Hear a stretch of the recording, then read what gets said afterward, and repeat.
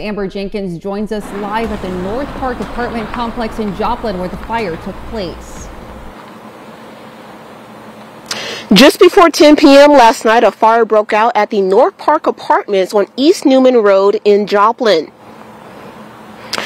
Firefighters arrived observing smoke and flames. They evacuated 38 occupants with the help from neighbors. Everyone was out safely. The large three-story structure is located on the south side of the complex. There's 24 apartments, but firefighters were able to stop the spread of the fire. Only six apartments were damaged. The Joplin Fire Marshal is investigating. An electrical malfunction is not ruled out as a cause of the flame. Later on today, I'm speaking with the Red Cross about their relief efforts. Elise, back to you. All right, Amber, thanks.